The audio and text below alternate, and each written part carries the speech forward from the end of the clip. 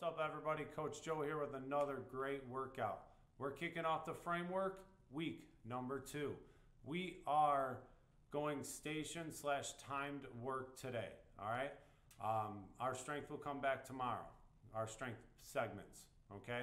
So this is going to be two separate circuits, three rounds of each circuit, one minute rest when you're switching circuits. All right. So the three rounds start at 40 10, then 40 20 then 40 30.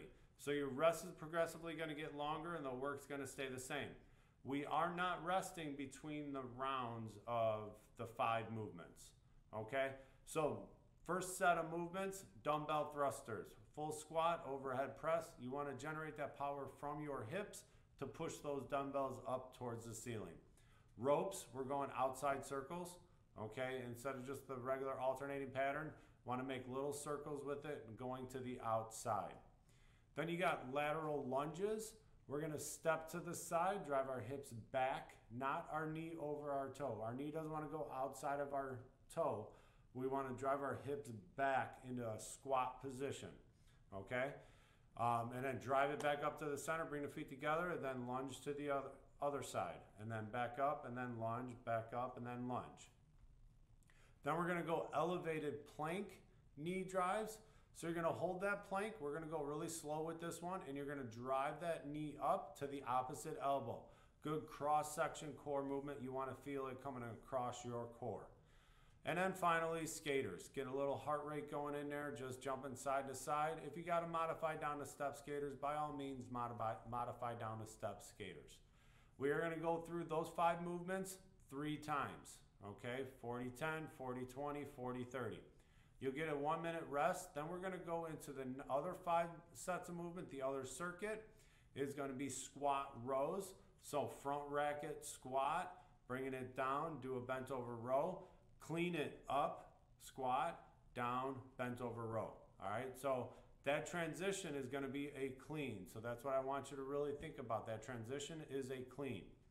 And then we're going to go TRX flex arm hang, we are basically holding a pull-up position. So if you can do a pull-up out on the rig and you want to go to the rig and do the flex arm hang on an actual pull-up bar, by all means you can. Um, it'll be a quick transition on the 10 second one, but after that I think it's possible. Um, so, but if you're using the TRX, we're just in that pull-up position, wherever your pull-up position has been over the course of the last few months doing the TRX pull-ups. Um, and we're just going to pull it and we want to hold it at about 90 degrees with our arms. And then after that, we're going to go to kettlebell figure eight.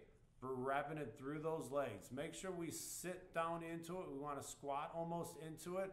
Our chest is up and we're going from between the leg each time. All right, it is a core movement. We want the obliques to be working, not that we're just bending over to get it under our legs. And then jump lunges. All right, two foot split, split, jump, lunge, lunge. Try to get as deep as you can. Um, depth is a big thing. It's really not for heart rate, like the split jumps are for heart rate. Um, this one, we do want to get into that lunge. If you can get all the way down, get all the way down. If not, that's okay. Just like get as good depth as you can. And then finally, knee tuck, knee tuck push-ups. Essentially, it's going to look like a burpee with a push-up and a jump tuck, uh, knee tuck. Okay.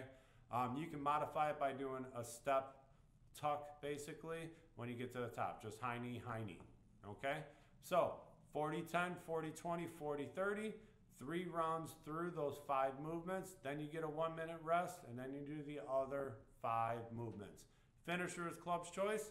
Um, let's get after it, attack that core, have a little fun, um, have a good one with that. That is a framework, week number two, workout number one.